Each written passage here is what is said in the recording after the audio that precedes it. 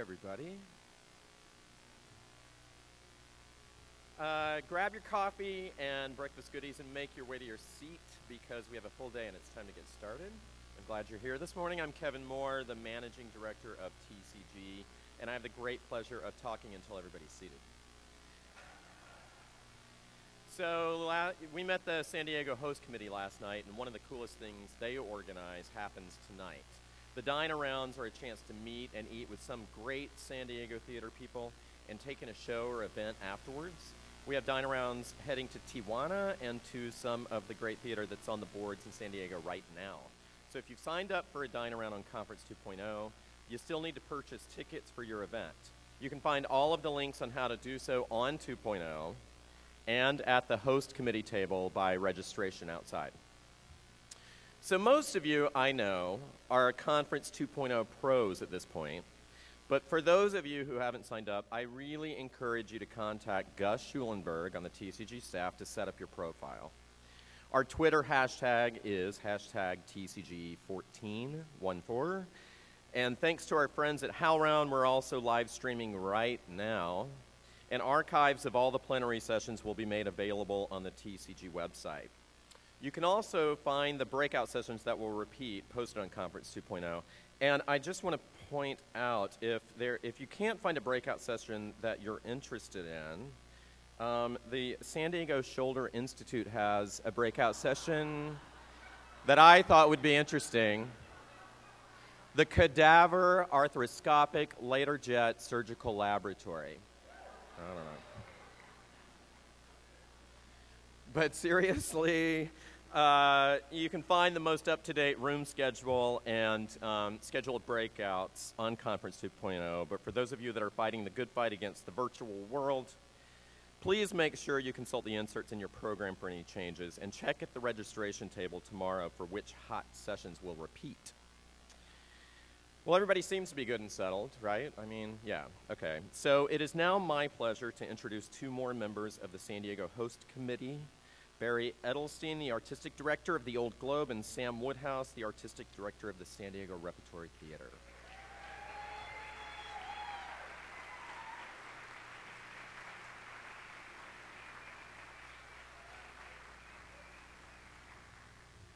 Good morning.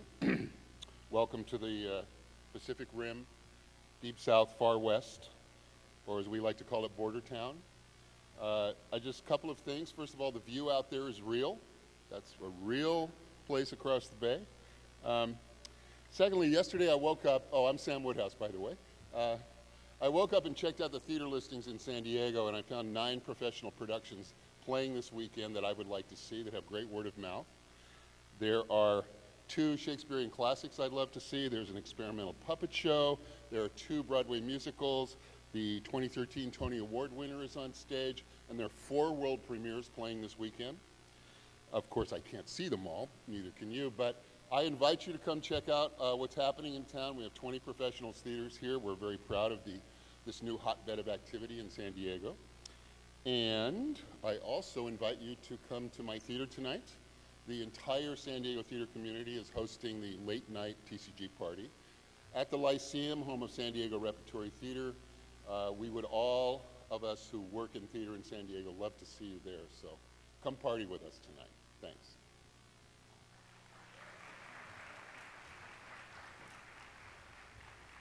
Good morning. I'm Barry Edelstein, Artistic Director of the Old Globe. I say good morning, but I'm not sure it is morning. I'm not sure because I never made it to sleep last night.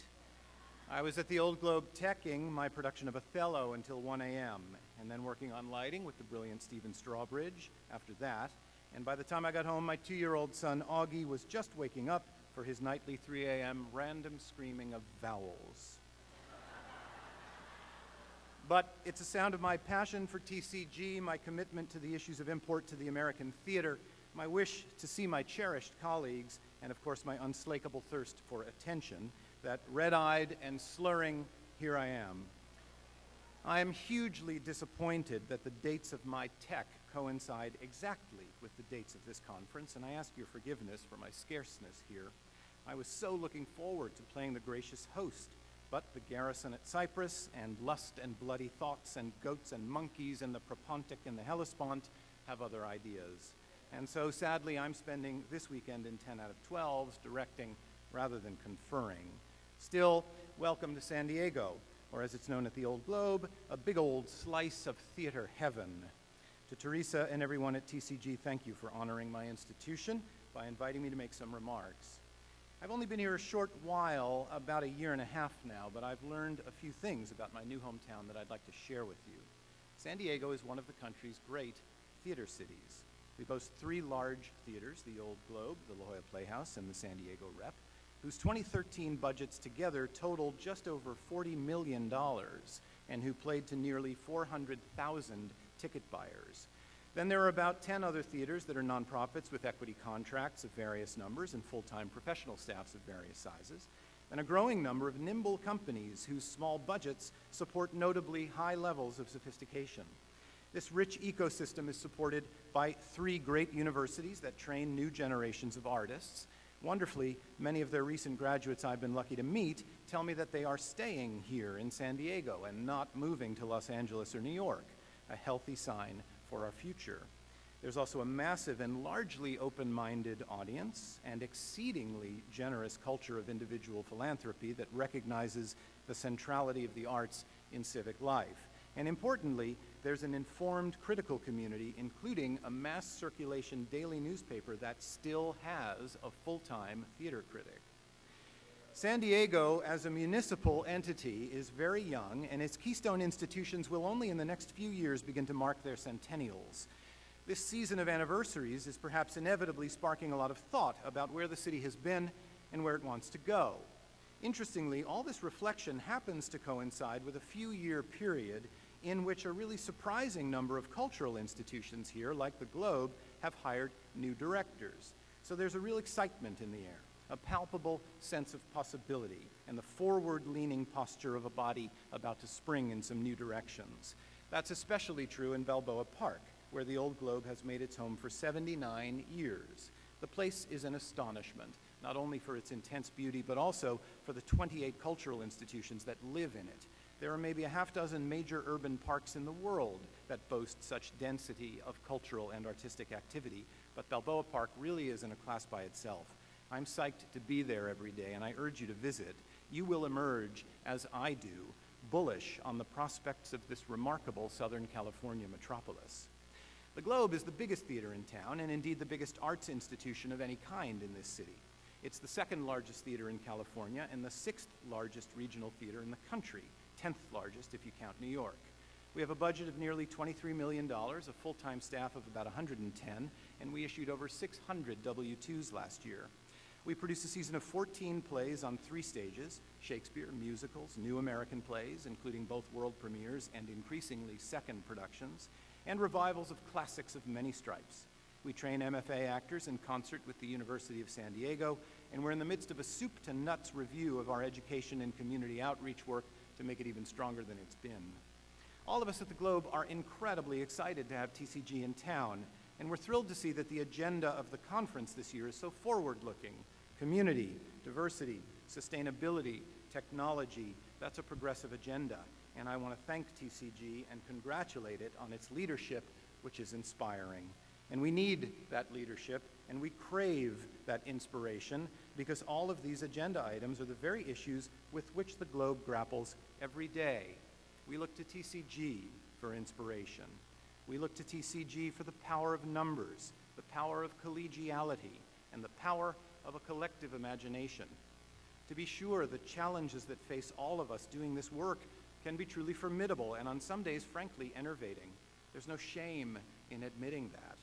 Just two weeks ago, Northern California lost a major regional theater, and two months ago, the San Diego Opera went through a near-death experience that shook this city.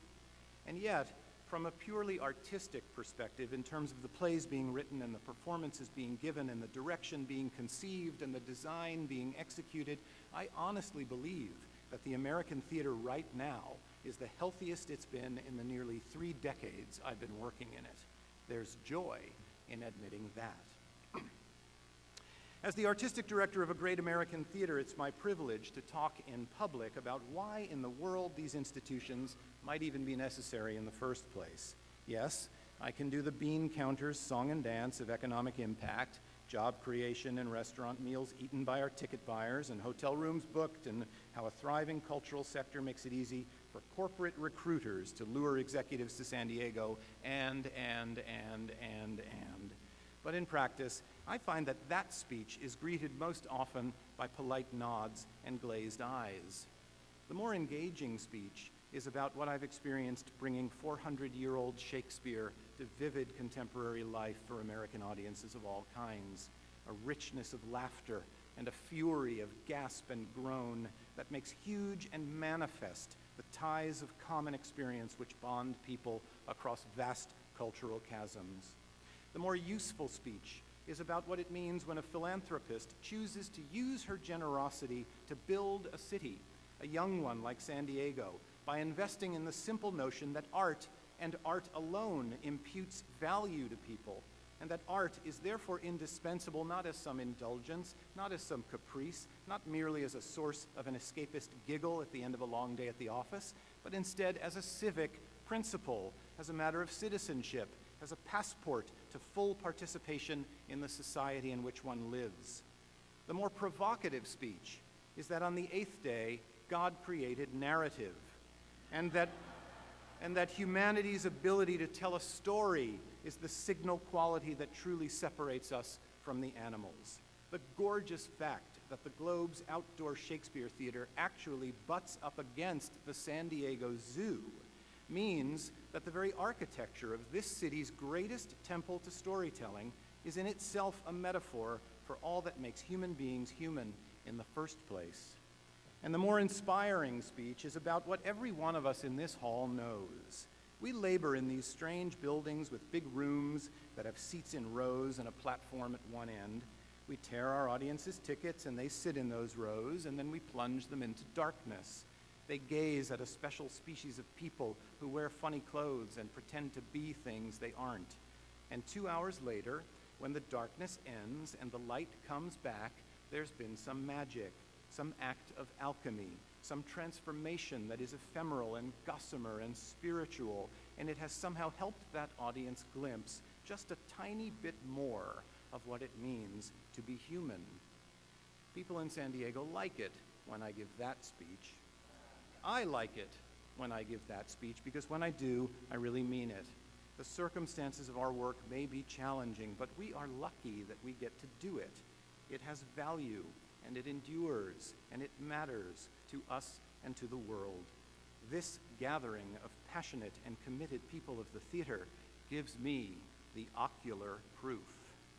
Again, welcome to San Diego, a great American theater town. Drink some craft beer, hit the beach, see a play.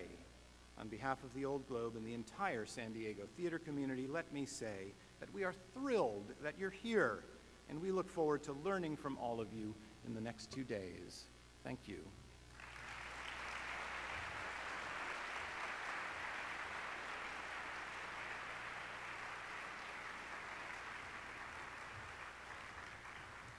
All right, thanks, Barry. Thank you, Sam. Barry, if you didn't tell us you were up all night, we would never know. So um, uh, now it is my great pleasure and my great honor to welcome the TCG board chair, Diane Rodriguez, to the stage. Diane is an Obie Award winning theater artist and the associate producer and director of new play production at Center Theater Group in Los Angeles, California. Please join me in giving a hand for Diane.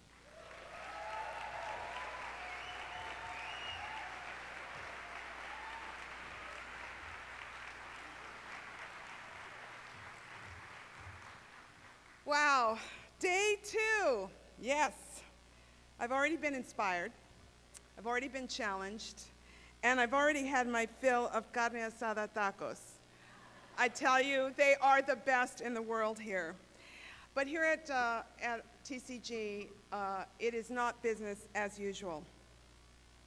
One of the core ideas of TCG is that it serves individuals working in the theater. That's all of you out there, theater workers and theater artists. It doesn't serve the theater, or the building, but rather those that work inside and those that work outside its confines, making work for their communities and for our theaters to produce.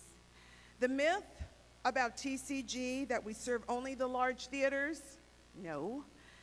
The myth about TCG that we favor only small theaters? No. We are invested in both and all that is in between.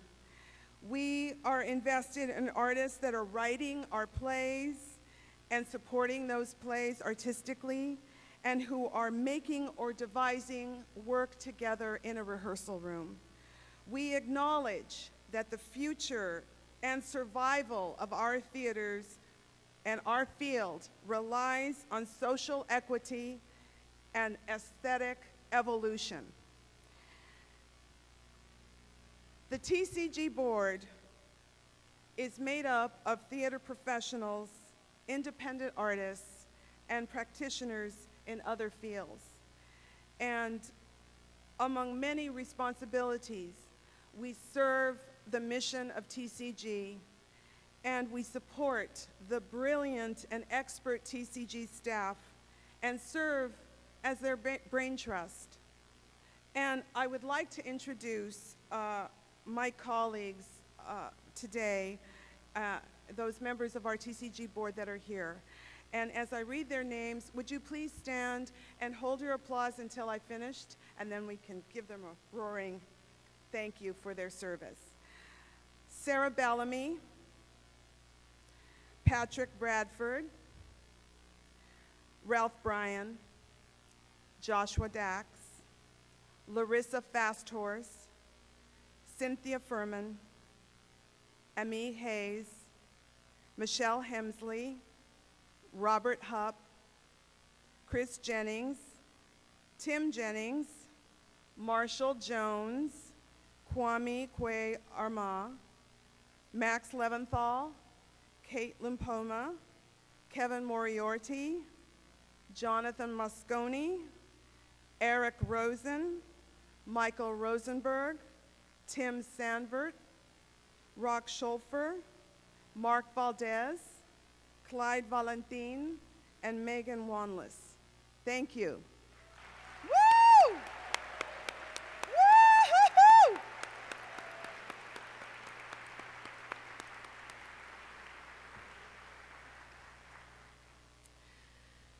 New England Foundation of the Arts is a forward-thinking foundation and has, ha- has been a steadfast supporter for American artists who tour both in the dance and theater world in the United States. For the past four years, NEFA has given sizable touring grants to our national ensembles who devise work or who make work collaboratively in an effort to create touring, a touring network for our American artists. Artists receive monies to support a premiere, and like money in the bank, these funds can also offset touring fees for presenters and producers. It's an amazing program that can support efforts to bring an ensemble and present them in your theater. And we and, and how great it would be if more tcg theaters invested in this program and used it.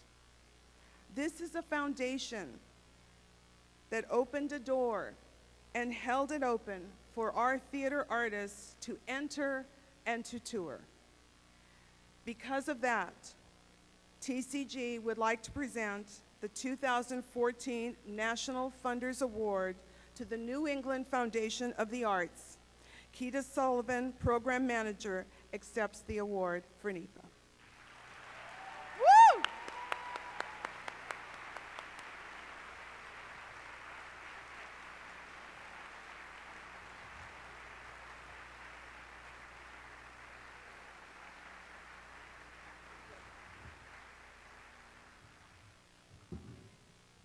Oh, there really are a lot of you out there. Thank you, Diane. Um, on behalf of my colleagues at NEFA, the National Theater Project, our former ED, Rebecca Blank. Um, It is a great honor to accept this TCG award. Um, Thank you so very much. We consider it a privilege to support artists, presenters, and theaters that are doing such amazing and exciting work.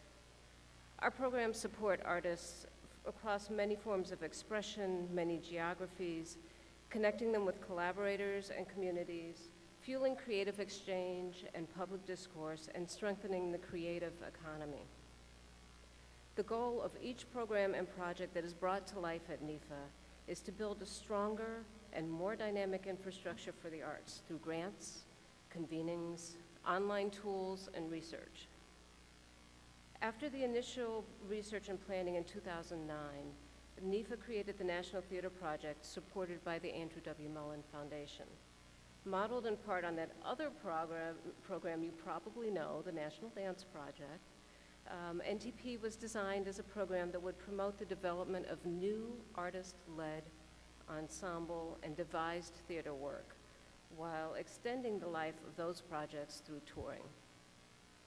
The work supported reflects the evolving theater environment, exposes audiences to exciting new work, and nurtures partnerships between artists and development and presenting partners.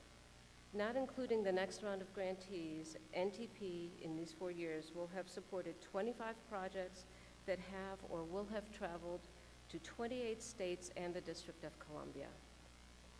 Projects that have been supported come from companies and collaborations that you already know well, to some that you don't know now but will soon know. Um, the, from the Wooster Group and SITI Company to Mondo Bizarro, Progress Theater, and Complex Movements. Presenters that have received subsidies and travel grants range from national parks and military bases, from regional theaters to retirement homes. TCG theaters can and have participated by bringing NTP projects into your spaces, not merely for performances, although we really do like those, um, but also by extending your generosity and nurturing projects during development, working with them on creating other partnerships that will help the project move. Because we all know it's all about who you know, it's all about the relationship. Um, and we're a big fan of co-pros. And also just spreading the word that there's some really, really great work out there.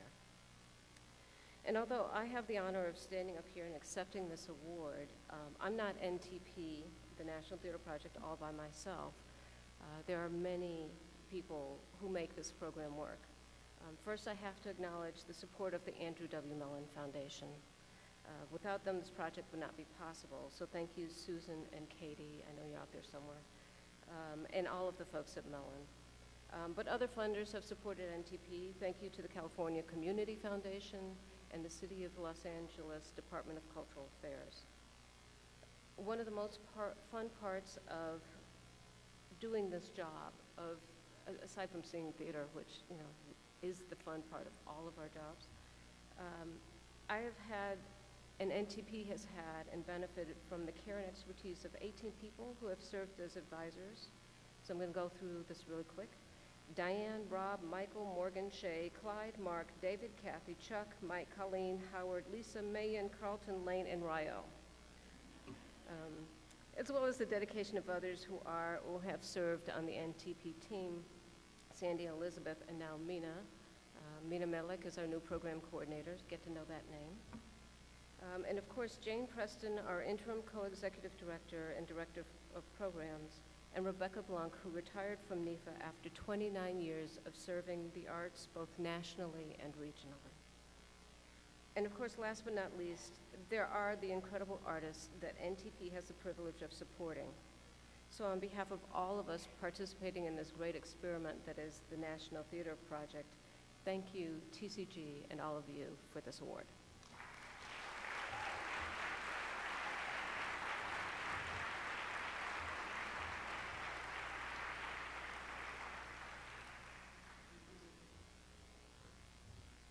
Almost saw me bite it right there. I almost fell down and embarrassed myself. Thank you, Quita, and thanks for all that you and NEFA do to support theaters across this country. We are truly, truly grateful. And now, I am really excited about this next part. We have a really fun infomercial from the editorial staff of American Theater Magazine, um, who have been working hard on developing a new online version of TCG's now 30 year old publication. It's really going to revolutionize the way you receive your theater news in the future. Please join me in welcoming Editor in Chief Jim O'Quinn and Senior Editor Eliza Bent for a really exciting glimpse of American theater's future.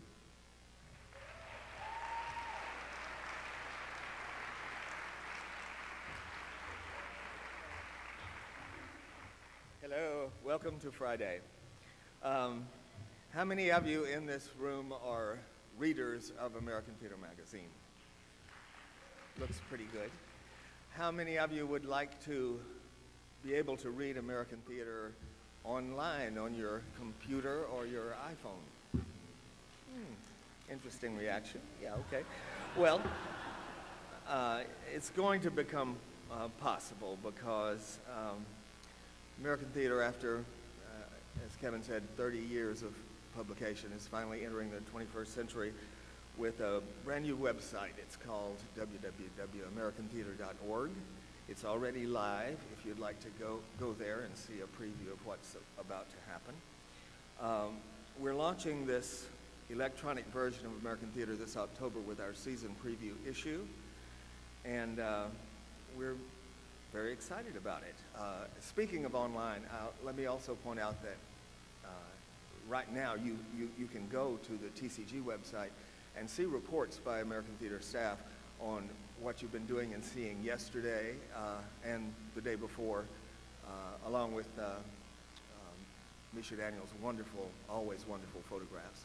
So there's already reports on the TCG website about the conference at this point. But um, back to AmericanTheater.org. Uh, Eliza Bent, senior editor, is going to take you through some of the um, uh, things you'll be able to do and see with this new edition of American Theater. Eliza?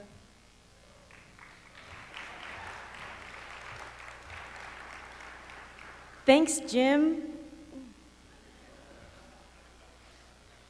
I hope everyone packed their bags because we're about to go on a screenshot safari of AmericanTheater.org. As Jim said, we'll be launching in October, and I'm going to go over not only what you can expect to see and how you'll benefit from our online presence, but also the kinds of partnerships and opportunities that will be available to you. Voila!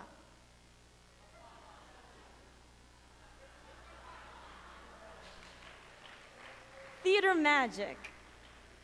The AmericanTheater.org homepage. This features our latest stories in a photo flash box containing, containing highlighted tales of teatro with updated content daily. Our navigation bar easily lets you sort between the hard hitting news you've come to depend on, such as who has won which award, who has traded job places, uh, the photos and features that you love to flip through, and the videos that you can't help but stare at. Uh, the left navigation bar contains information about TCG and American Theater, including the magazine's history, our masthead, and how to contact us. Scrolling down, uh, you'll see recently posted articles and sidebars listing our most popular stories and news. I repeat, our staff will be updating this content daily. The revolution will be online. Okay. All right. Donald Trump himself told me that he was envious of the prime real estate at the top of our page. Advertising real estate, that is. Oh, okay. Here you can show off your latest productions, your latest class offerings, whatever it is that you want to show off. Um, we've also got homepage advertising on the right and left sidebars. Uh, next up, we have an example of a story page. Tag, you're it. Okay. Sorry. Each story, each story will be tagged for city, state, theater company, and artist. This system uh, that we'll be using uh, will be able will will be able to organize pages of- of content about a particular person, a member theater, a region of the country, uh, or a nation around the world. Um, advertising can also be targeted to type of content or by geolocation. So if you're advertising a show in Minnesota and you only want that ad to appear on articles about Minnesotan theater, we can do that for you. If you want only Minnesotans to see your ad, done. You're welcome. Not to brag, uh, but I'm going to brag. Another great feature uh, about this new website is that it will enable us to show more production images of more productions from your theaters. Um, woo! Uh, so we plan to use this photo gallery feature for our design-centric production notebook department, uh, but we also will be starting an online-only feature titled Opening Night. You can probably guess what that means. It's a highlight of shows opening on a particular evening around the country. As Jim would say, I know, can you believe it?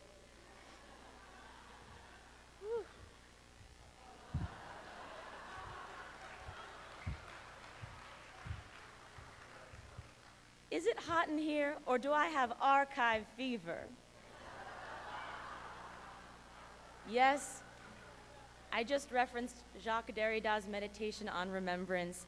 And yes, that means that the website will have a full digital archive of all of the magazine's content since 1984. Uh, this here gives you, woo! Yeah. That's pretty great. Uh, this gives you a glimpse of how uh, all of the past issues are going to be organized so that you can find the entirety of any issue online with the click of a mouse or the flick of a finger. Bottom line is that we won't have to ask Jim if he remembers when a certain article was published. And that's not a good thing, it's a great thing. Okay, thank you very much for waking up so early in the morning, uh, for being here with us, for, for bearing the cheese and corn of these jokes. But I really would be lying if I didn't say that we aren't beyond thrilled about what this new website means for the publication, for the field, and for you, our people. Uh, American Theater Magazine's revitalized online presence means more coverage of more people like you, projects that you're involved with, and theaters and places where you're working. Uh, and that's not a good thing, it's a totally super awesome thing. Uh, okay, we're confident this digital initiative will secure our role as the leading voice in the conversation about not-for-profit theater across the country and around the world. Uh, but you don't have to wait until the fall to visit us online. You can check out our landing page, which is www.americantheater.org. And there you will find out more information about what's coming up and even pitch suggestions about what we should cover. I shudder to think about my already exploding inbox. See you online in October.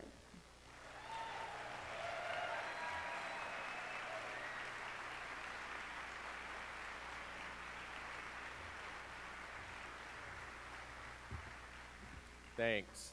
Eliza, your jokes in real life are much funnier than that just was. Uh, no, I'm kidding. We're really, really excited about this, obviously. And thanks, Jim and Eliza, for that. That was great. Um, uh, it is now my pleasure to introduce our keynote speaker this morning, who has her own exciting vision of technology in the future. Jane McGonigal.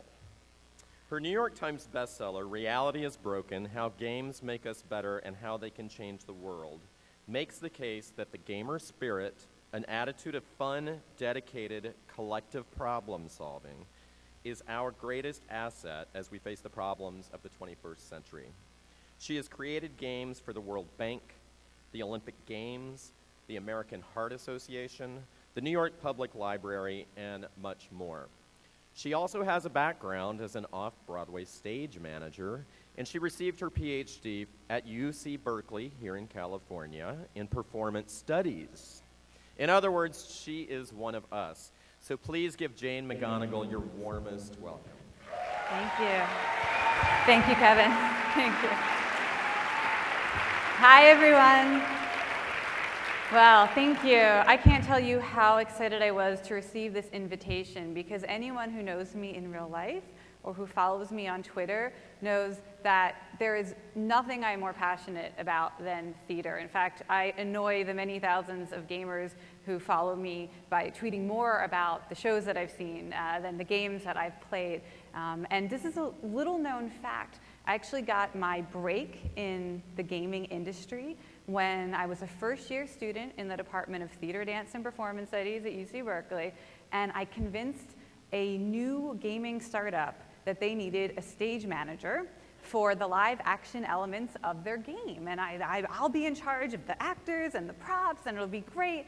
And that was my first gaming job. Um, so here I am, 14 years later, still trying to bring the power of theater and games together to change people's real lives and to solve real problems. And, and that's what we're going to talk about today. And I want to thank you for spending some of your time this morning taking games seriously because it's not something that people often do. You know, we think about games as being trivial, they're, they're fun, but they're, they're pretty much a waste of time, right? But, but today we're going to take games seriously together as a way to empower communities to change their own lives and to maybe even change the world. And I thought, no better way to start taking games seriously than to share with you some good news.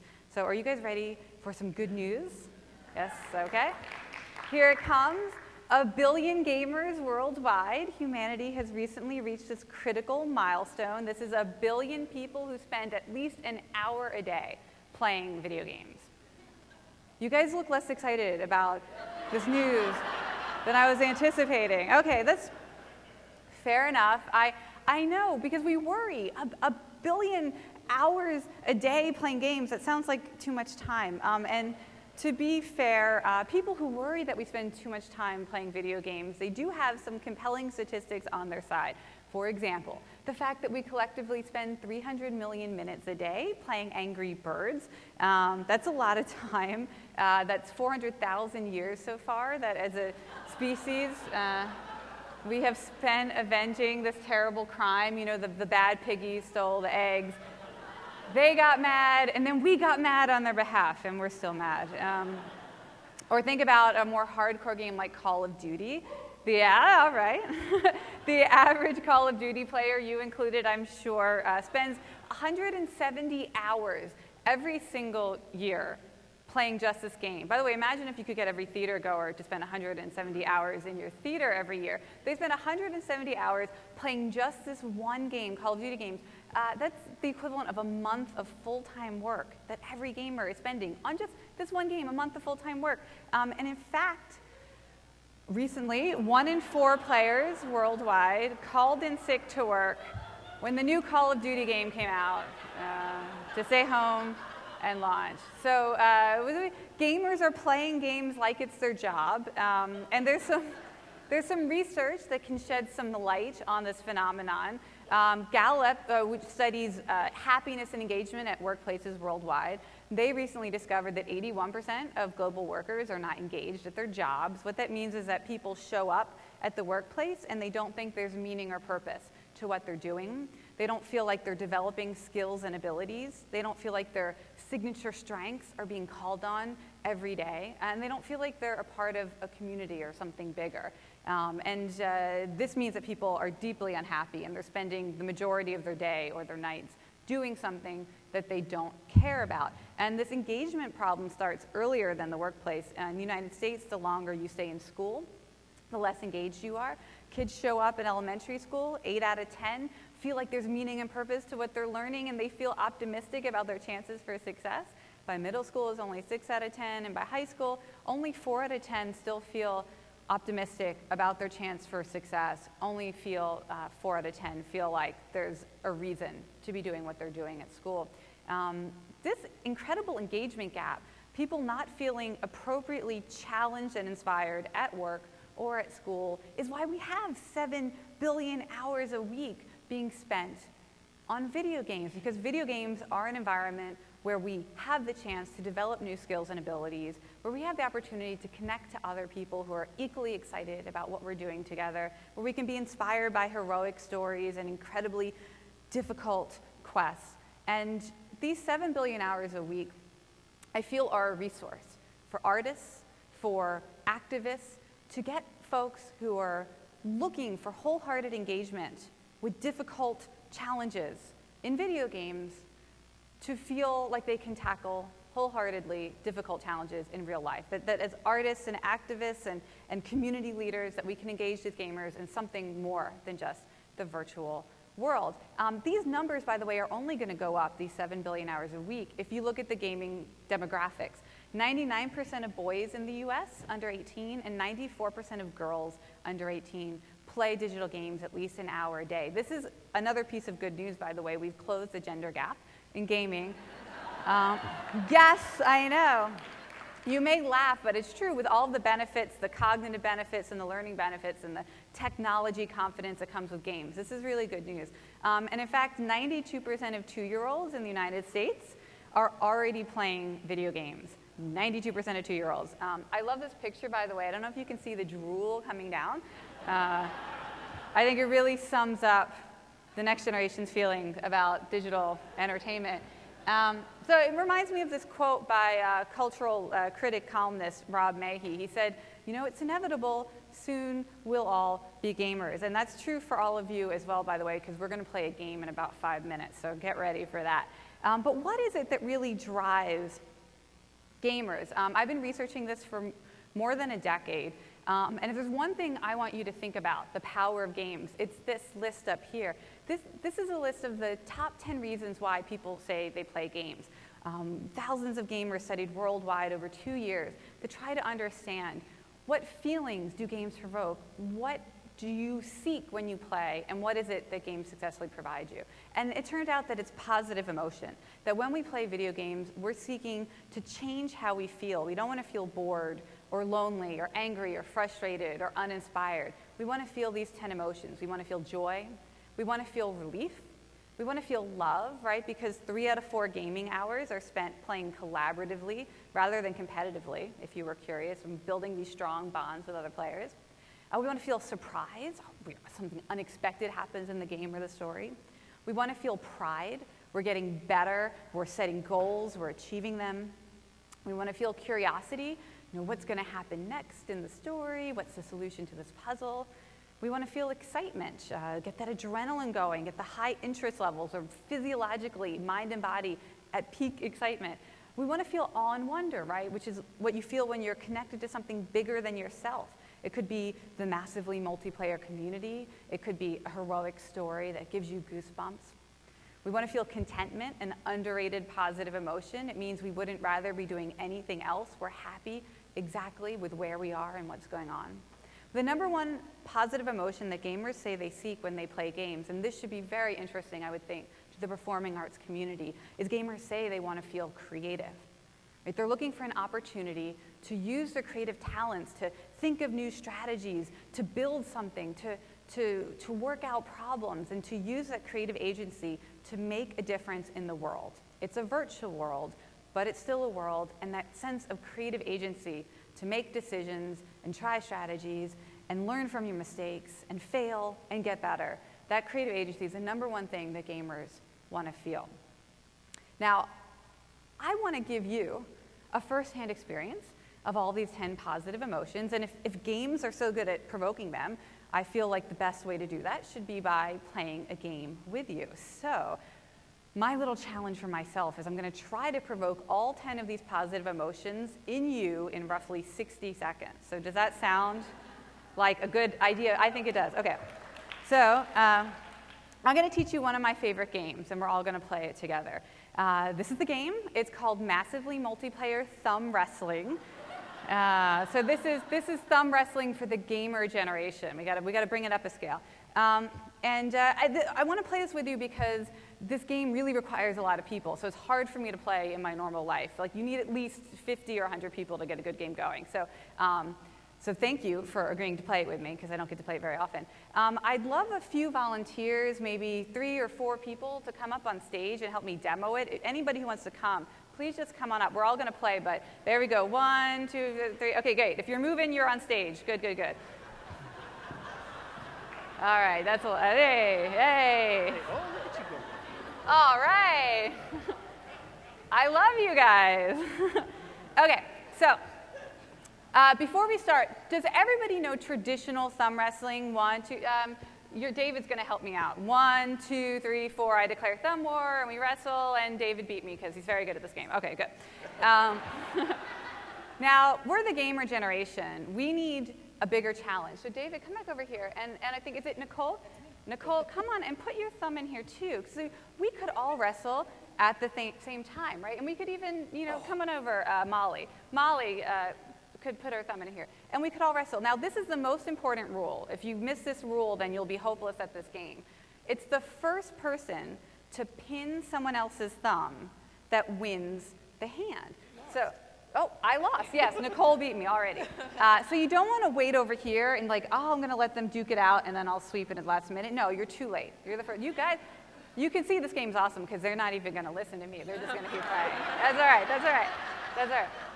By the way, a little, uh, a little warning to everyone when you play. If you are a big, strong man or woman, don't squeeze too hard, don't hurt anybody. And if you have beautiful long nails, do not dig them into anybody else's palm. Just be thinking about that. Okay, um, so that would, be, uh, that would be good. And if I could get the slides back up on the screen we can see uh, that this is a typical hand. Now, you don't have to hold yourselves back. You can be ambitious. So for example, um, as many thumbs as you want to put into the node, you can. But, so this is good. But gamer generation, I think we can be even more challenged. I happen to notice we still have thumbs lying around, right? So maybe we should find some other people to wrestle with. So here's Jet, and maybe reach out and grab Joy with, you just grab her, yeah. And then maybe Joy would reach out with her. yes. Okay, they, they can, here, lift, you can see where, uh, you can almost see on the screen. All right, and then the idea is that you get all thumbs connected. Now, if we have more people, I could reach out and grab them, and Joy, you could reach out behind you. Just demo for me, yeah. Reach out, you grab some other people. And the idea is that we get everybody in the room connected in one node, okay? Everyone reaching across aisles, reaching behind you. You guys are going to be very good at this game. I love it. Okay. Um, Dave Ziggy. And uh, you wrestle both your thumbs at the same time. That's, that's, the, that's the other exciting part. So um, you guys are ready to be kind of like experts. Okay, you guys.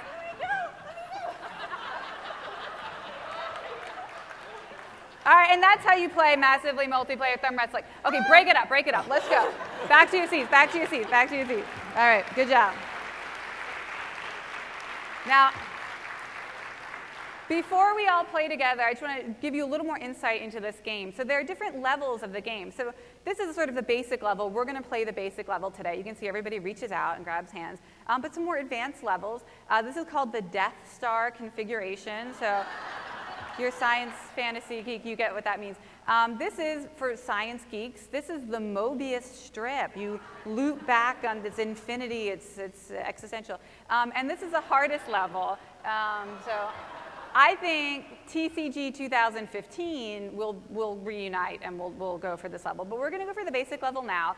And just to remind you, here's how it works. I'm going to give you about 30 seconds to form the network. If you're on the aisles, you have a special role. Make sure you reach across the aisle because if the thumbs only count towards our high score if everyone in the room is connected. And we're going to go for a score of about 1,700 uh, thumbs I think we have in the room right now, which will be the highest score in California this year so far.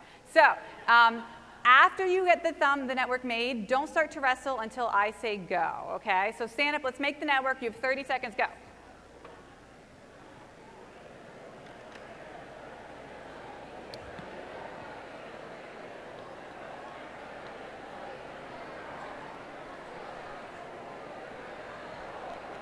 Good. Reach across, reach across. Good, good. Grab, yeah, grab that thumb. Somebody grab that. You can do it. Look for that. Grab that thumb. All right. If you have a free thumb, wave it around so someone can grab it. All right, we're going to do a last minute thumb check. Who has a thumb not connected? Wave it around so we can get it in. There's one there, there's one there. Grab it. Are you in? Grab that thumb back. That lady, we cannot wrestle till her thumb is in someone else's hand. Okay. On the count of three, we're going to wrestle.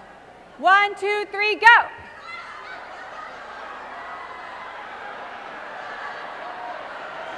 Yeah. Did you win? You got that hand? Good, good. Yes! Well done, well done. Nicely played, nicely played. All right. You guys did great. All right, I'm going to call that a score of 1,730 thumbs. So we'll see if anybody beats that this year. Okay.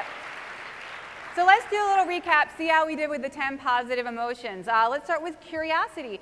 I said massively multiplayer thumb wrestling, and you were like, I've never heard of that before. What is that? How does that work? I got you a little bit curious. Creativity. So it actually took some creativity, uh, especially with those last few thumbs. How does this go? We have to do it like this. I have to reach around. So we did some problem solving together, and you guys were creative, and you solved the problem, which was great. Um, surprise. You know, the, the feeling of trying to wrestle two thumbs at once is an unfamiliar sensation. So there's a little bit of surprise when you start to do that. Um, excitement. Uh, you heard the sound that went up in the room as you started playing and like, you know, hey, uh, you know, you're really good at this or this person's really into it. And so there's like a little bit of excitement going on. Um, you had some relief, right? The relief of you've been sitting here for like 45 minutes. You got to stand up and have some physical relief to your bodies, not having to sit still and be silent.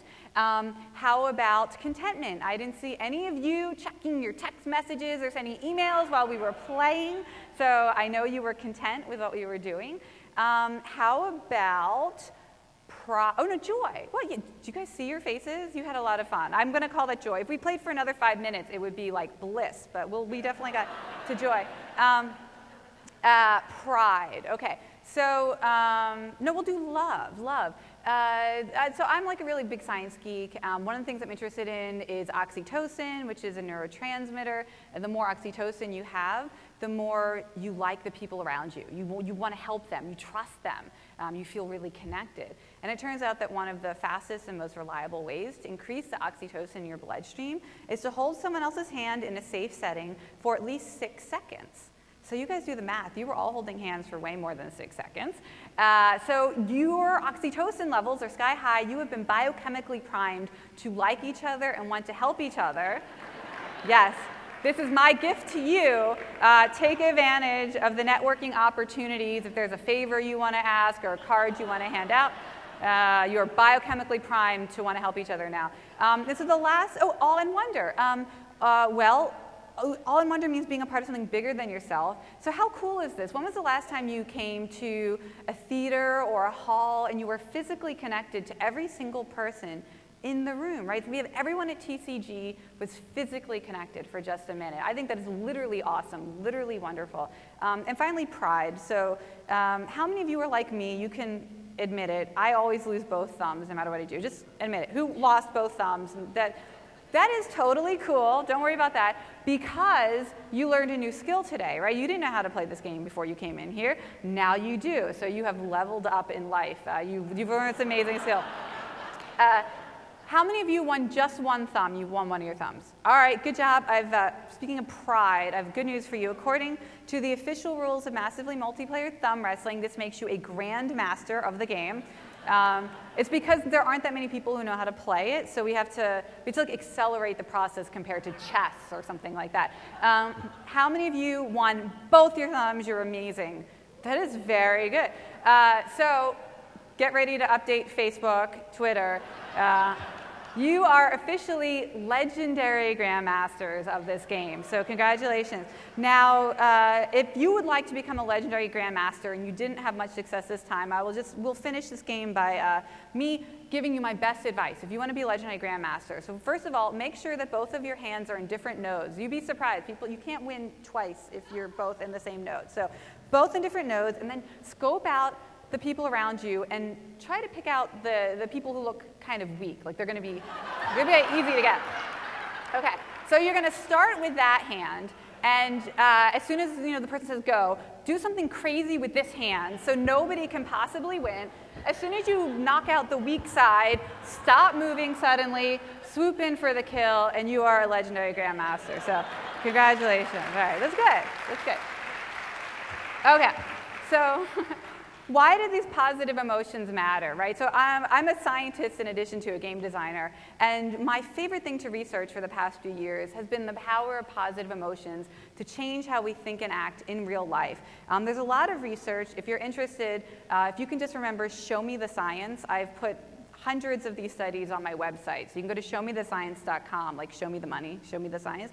Um, but the most important bit of research has to do with the fact that the more positive emotions we feel, the more determined and motivated we are in the face of difficulty, in the face of adversity. That if we can have, on average, two, three, four positive emotions for every negative emotion we feel in our daily lives, that we are less likely to give up in the, in the face of adversity, that we are able to recruit allies, that we have more energy to pursue the goals that we want to pursue in real life. So these, these positive emotions have a real impact on our mind and body. And they allow us to do things that are difficult, to become more ambitious, and to develop more support from our friends and family for the goals we want to achieve.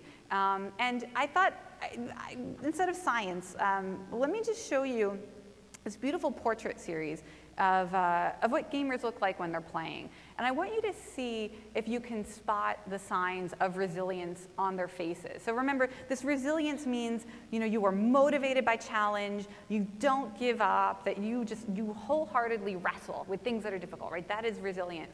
Um, it's very subtle, so look closely, but I think you can do it. Okay, here we go. So. Uh, yeah, you, you, I, don't, I don't need to say anything. You guys get the idea. Um, it's a good one. Somebody had grit and determination. Um, this guy, who said playing games was like escapist passive activity? You can see playing games is quite hard work.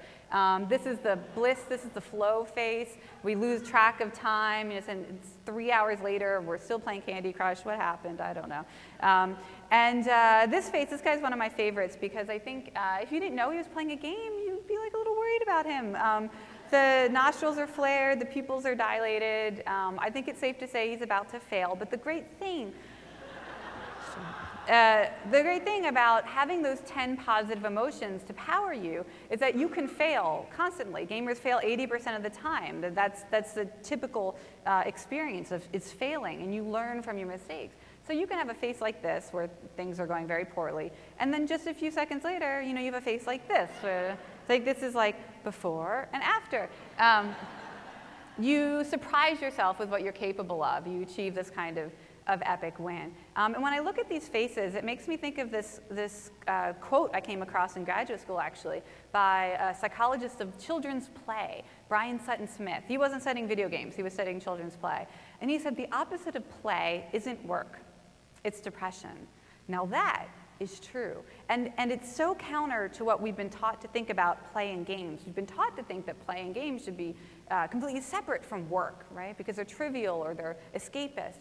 But in fact, as you can see from those photos, one, gameplay is very hard work, right? It requires our attention and our hardest efforts to achieve a goal.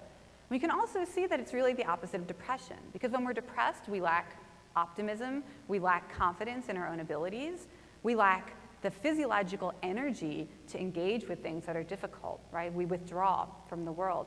But, but when we play, it's the opposite, right? We're full of energy, we're full of confidence, we believe that extraordinary victories are possible against all odds, um, and that sense of purpose and meaning even to our actions, that there's a reason why we play, um, that there's an important mission or story to be told. Now, what's really cool for science geeks um, is we can now see into the games of brain, uh, the brains of gamers while they're playing, and we can see that gameplay is literally the opposite of depression. So Brian Sutton Smith said that, you know, 30 years ago, that the opposite of play is depression. Well, now uh, this is at Stanford University, thanks to their fMRI research, we can see that literally neurologically, gameplay is the opposite of depression. Let me show you what I mean. Um, this is a comparison of uh, somebody playing a video game, the one that's all lit up, um, versus somebody watching a video game. So by the way, the benefits of gaming, you can't just be an audience member, you have to play. That's why we played together, because there are no benefits from watching someone else play. The benefits come from being an active agent yourself in the game. And uh, the, the researchers discovered that there were two really important differences um, between playing a game and just kind of watching someone else play, right? Um, being an audience member. The first difference is in the caudate and the thalamus. The caudate and thalamus are the motivation centers of the brain. When these parts of the brain are lit up, it means that you will do whatever it takes to achieve your goal. Um, now, this is also the part of the brain associated with addiction. So you may have seen some rather sensational headlines in the past year or so. Uh, video games light up the same part of the brain as cocaine, because it's true. Because when we become addicted to drugs, we will do anything it takes, right, to get what we want. But in other areas of our lives, you know, if we're trying to learn a new skill, we want to uh, train for a marathon, we're, we're learning a foreign language, um, where we don't want to give up, right? uh, it's, we love to see that part of the brain lit up. The more motivation and determination, the better. Uh, the reason why this part of the brain lights up when we play games, of course, is that every game gives us a goal, right? You have to rescue the princess, you have to defeat the enemy, you have to get the score, you have to solve the puzzle. When we play a game, we accept a goal voluntarily. That goal energizes us, it concentrates our attention and motivation on a challenge, and that's why we get the caudate thalamus going. So that's wonderful. Builds motivation and determination. At the same time, the hippocampus is going crazy. The hippocampus is the part of the brain associated with learning and memory. The more this part of the brain lights up, the faster you learn, the more effective learning is. And the reason why this part of the brain lights up when we play is because every game is designed for us to be bad at it the first time we play. So, uh, you know, the next time you do the thumb wrestling, you're going to be better because you're going to learn from your experience, right? Um, there will be a next time. Trust me, you will play that again sometime in your life. Um, and the hippocampus, uh, it goes crazy because we want to get better. That is, a, that is the, the pleasure of gaming is improving our skills, right? And, and if we get really good at a game, we usually find another game to play, right? It's why as adults we don't play tic-tac-toe because we're done learning. We, there's nothing left to learn. We have to play a game that will continue to drive us to learn. So this is kind of the one-two punch of gaming, of, of, of all games, not just video games, this desire to achieve a difficult goal and the thrill of learning and improving, right? And these sort of two character strengths of perseverance and love of learning that games develop in us. Um, I like to talk about this neurologically as the state of a super empowered, hopeful individual. A super empowered, hopeful individual is somebody who believes that they have a realistic chance of making a difference in someone else's life or, or in, in the world around them. Um, they feel optimistic, they feel like they have real skills and abilities that can make a positive difference. And what I want to turn to now, uh, in the remainder of our time together, is you know, what would it mean to use our American theaters to create super empowered, hopeful individuals? What if we could use our spaces and our artists and our community to help our audiences become super empowered in their own lives. Um, and I thought I'd show you something today. I've, I've, never shown this in a talk before, but here we are at a Crossing Borders conference. And uh, it, it, reminded me of something I saw actually when I was just finishing up my PhD. So we'll, uh, we'll play this video. Will you um, click play for me, please? Um, so uh, this, is, uh, this is pretty local to where we are now, and we don't need to hear the audio. Um, and this is the wall that separates the United States from Mexico. Um, and we're the gamer generation, so we don't see a wall as an obstacle, right? We see it as a platform for play. Um, and in fact, this is a project, uh, Viva Border Volleyball, um, that brought people out to the beaches to play volleyball over the fence that separates the United States from Mexico. That's great, right? I love this. I love this. Um, and in fact, this is not some newfangled gamer idea. I actually found this just this past week. Um, this idea goes back to 1979. A community in Arizona has been doing this every year since 1979. And the whole community comes out to play this game across the wall. And uh, this is uh, this is such a great example because it, I think in a nutshell, it shows what games can do for your community.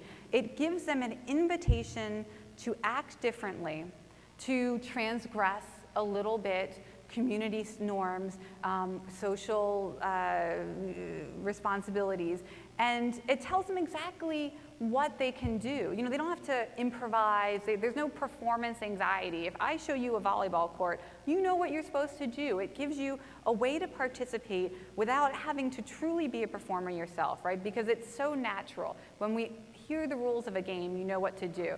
Um, and that is the beauty of games, and it's the beauty of bringing games back into theater, um, is the possibility that people don't have to be comfortable performing in order to participate, and that we can all understand the rules of the game to make it easy and comfortable for people to participate. So what I show you now is uh, a game that I made um, that I personally consider a performance event um, and, and, not just a game, certainly not just a digital game. Um, and it was sort of inspired by World of Warcraft and games like, like that, um, these MMORPGs where people come together in large groups online. You might gather 50 of your friends or 100 of your friends to tackle a truly epic quest. You're, you're going to go on a raid, you're going to do epic battle, and you all have to show up at the same time in the same virtual space to work together. And everybody brings their different skills and abilities that evening to achieve the goal. Well, what if we could do that in real life? What if we could use our community spaces, our most beautiful and inspiring community spaces that are certainly as epic and grand as anything in a virtual world, and we could bring people together to ask them to be creative in that space, to solve problems in that space. Uh, so the space that I was lucky enough to work with is the beautiful Stephen Schwarzman building for the New York Public Library. Um, if you've never been, this is the one that was in Ghostbusters, so you probably at least have a visual. It's gorgeous. Um, and uh, the, the, New York Public Library has a problem, though, which is that young people don't like to go to the library anymore, um, if they ever like to go. I mean, really, now they do not like to go. Um, they do all their research online. It's all Google and Wikipedia. Um, but these are amazing physical spaces that inspire you when you walk into them to think bigger thoughts and, and to dream differently about the future. And, and there's also the, the benefit of coming to be in a space with other people, other thinkers, other researchers, other scholars, other learners, other creators, that just by being in the same physical space, there might be that synchronicity of something new um, arising. So the, the, library wanted to bring young people to the library. and they didn't know how to do it. They thought maybe a game would help. So they asked me if I could make a game. And they had terrible ideas. Uh, uh, the, the worst ideas were probably some of the ideas that you thought I might get up here and talk to you about, these sort of gamification ideas. So I know we'll give people points every time they come to the library, and we can give them an achievement badge for visiting different collections. And um, the reason why I thought this was a terrible idea is that you're trying to motivate people to do something that you want them to do, right? I want you to take out books because I'm the library, and that's, that's what I want. But what about what they want, right? So as a game designer, my first job is to imagine what would be an extraordinary accomplishment for the gamers. What, what goal would they love to achieve, but maybe they don't have the resources or they don't have the confidence that they could achieve it? So one thing I found out in course of my research is that young people, 91% uh, of them want to write a book someday. Now, 91% do not want to read a book, but It's sad but true. But they want to write a book. They feel like they have something worth saying. They, they have a voice that should be heard or a story that should be told. Um, and that's interesting. So I started to, I wanted to keep that in mind, that young people want to write a book. Um, I still wasn't sure, so I asked them to send me some inspirational material to draw on. Um, and they sent me all these old archival documents and um, different things in the collection. And there was one document they sent me, as soon as I saw it, I knew I could make them a game. This was the document. Um, this is uh, published in Scientific America in 1911 showing this new library and this amazing technological feat where they were storing books eight levels underneath the ground. And this is, in fact, how they store books in the library today, to this day, 100 years later. There are eight levels underneath the city streets of Midtown Manhattan. If you walk around Midtown Manhattan, you are walking on top of a city of books. How cool is that? Nobody knows that. It's like the secret city of books underneath the city ground. Um, and as soon as I saw this, I knew I could make a game because do you guys see it? Like this is basically Donkey Kong. Are you right? You like? okay. So my idea was inspired by the eight levels of the library. I would create an eight-level game where if you got to the top level, you have written a book that will be printed on demand, listed in the card catalog. You are a published author with the New York Public Library, and your book will go on the physical stacks of the New York Public Library. Your book is real and it's in the stack. So that was the idea for the game. I'm going to show you a trailer for the game now, and then I'll explain how it worked.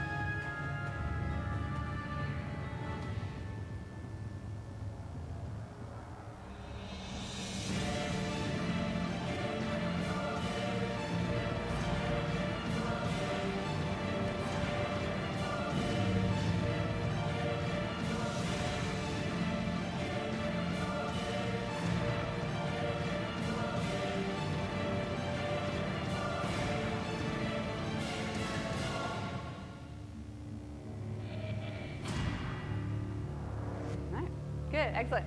So, thank you. thank you. So, uh, funny story about that trailer. So the idea was we would launch this game on May 20th. That would be our opening night, and we would lock 500 young people into the library overnight. This is inspired by the mixed up files of Mrs. Basil E. Frankweiler. I don't know if any of you guys read that when you were here. Yeah. Uh, that was the first idea I had when I was still talking to them. I was like, oh, we want you to do a game, blah, blah, blah. And I was like, can I lock people in overnight? We'll get back to you. uh, but they agreed. And uh, we were going to lock them in overnight, sunset to sunrise, 6 p.m. to 6 a.m. Nobody's allowed out till they write a book. Um, and to find people to come for opening night, uh, the game was going to run for a year. You come to the library anytime it was open for a year and play this game. But opening night, uh, we put this trailer online. That was it. And we're like, oh, I hope 500 people will want to come and do this. Um, and I got, uh, I heard from the, a member of the board of directors, a very senior gentleman um, who'd been with the library for many years. Right after we put this trailer online, he was very upset with me.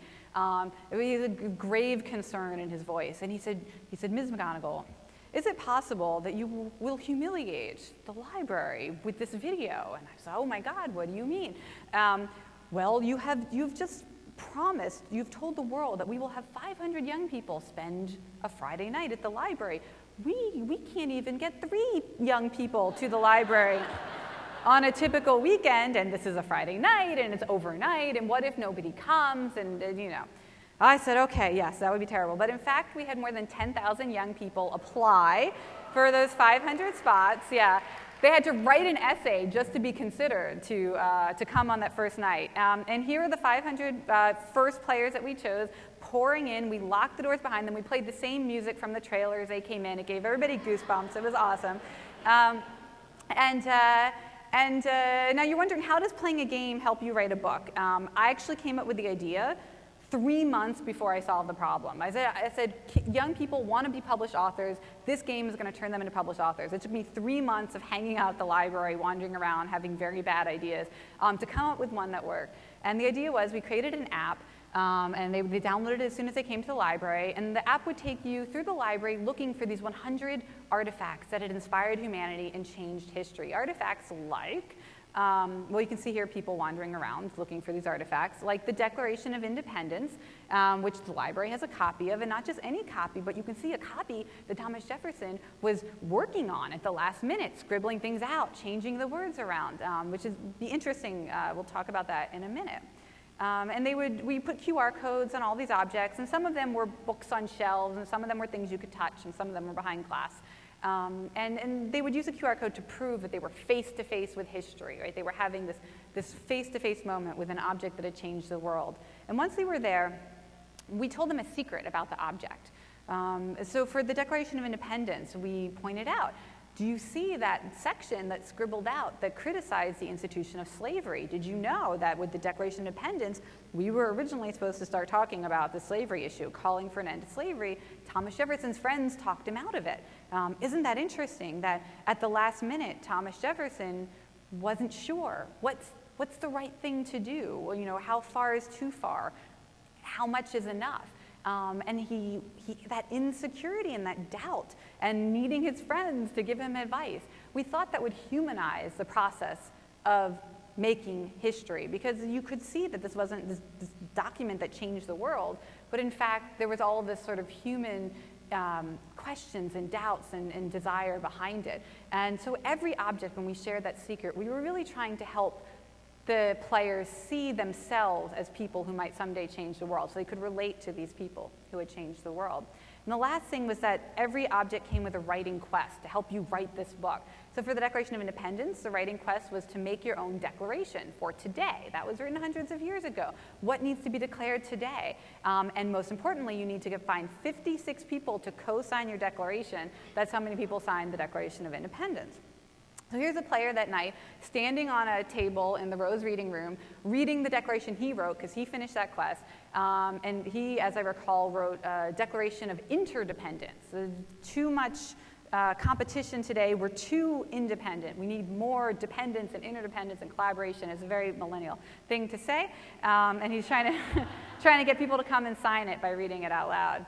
Um, now, we wanted to have the book published at the end of the night, the first book, so we found this guy in Brooklyn who had been trained in the UK in medieval bookbinding techniques. So he showed up with this like torture contraption and uh, all this leather, and he was sewing together the book as we went. Every time the players finished a quest, we had editors uh, from New Yorker Magazine, from Penguin Books. They were there to copy edit and line edit, and then we printed out the pages, and they were stacking up like a progress bar over the course of the night. Um, this is what the Rose Reading Room looked like at 3 a.m. It had never looked like that before, uh, except for once, uh, they told me later, they had rented 300 Xboxes and held a Halo video game tournament. Um, that was the last time they had that many kids there. Uh, I felt like our game was a little bit more on mission for the library. Um, you're wondering how they stayed awake all night besides all the free pizza and coffee. Um, they were very creative because gamers are creative. This guy, without asking anyone for permission, brought a vuvuzela, that, that horn from South Africa that makes the most annoying sound in the world. Um, he just wandered around the whole night blowing it to make sure you weren't asleep, which was very good.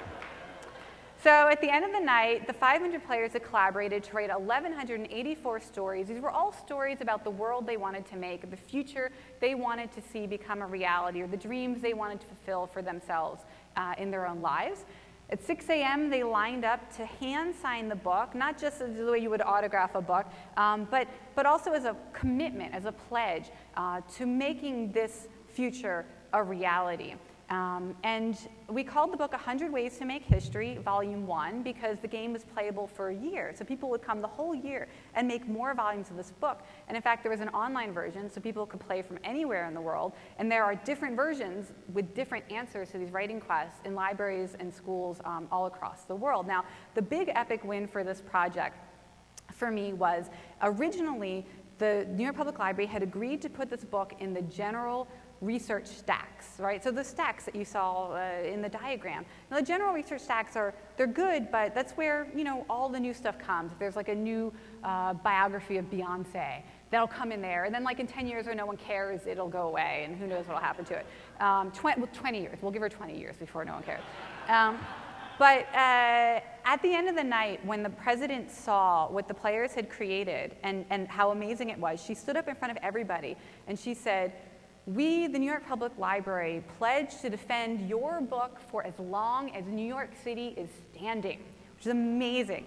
And they put it in the rare books collection next to the Declaration of Independence, next to a Gutenberg Bible. These are the only living authors of a book in the rare books collection. That means they can visit it for the rest of their lives they don't need an appointment. They can bring their friends today. They can bring their kids someday. They can bring their grandkids today and say, this is the book that I wrote that the New York Public Library thinks is one of the most important texts ever created in the history of humanity. So that was an epic win for our players. Um, so what, uh, what I hope to share with you today is that these 10 positive emotions that games provoke can help people strive to do things that would seem impossible otherwise, whether it's making a political statement, bringing two countries together with you know, border volleyball, or getting to write a book and be a published author in just one night and to collaborate with 499 other amazing people. By the way, two people who met that night at that first library game got married last year, which is amazing. I know, we love it. Uh, so, you know, try to remember these 10 positive emotions. If you can't remember them, just remember the faces of gamers and the opportunity that we have to bring people together in our spaces to uh, become super empowered. Um, I would like to state for the record, I've been telling people this for the last two years, I would like to produce and develop my next game for an American theater. I want to create my next game in a theater uh, and for a theater. So um, I hope to see many of these faces in theaters um, over the coming decades. I'm going to be signing books outside now, and uh, I hope that you will come and talk to me and share your vision for the future of theater and play and games. Thank you so much. Thank you. Thank you. Aww. Wait, don't sit. I have to take a picture.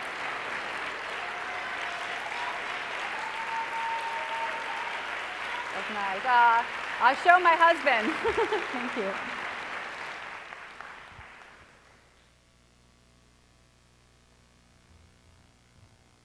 Oh my God, is that like the coolest thing you've ever seen in your life? Thank you, Jane. That was fantastic. Like, like she said, she's going to be signing copies of her book, Reality is Broken, in the TCG bookstore and lounge right out